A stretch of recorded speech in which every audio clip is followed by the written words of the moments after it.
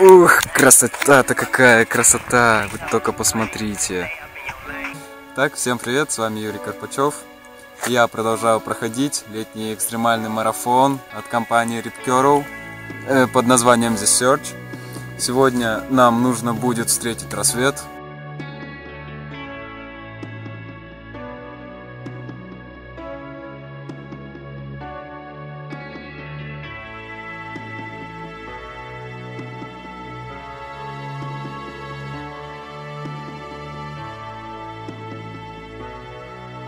Итак, я прибыл на место назначения. Отсюда я планировал встретить рассвет, но немножечко не получилось из-за облачности.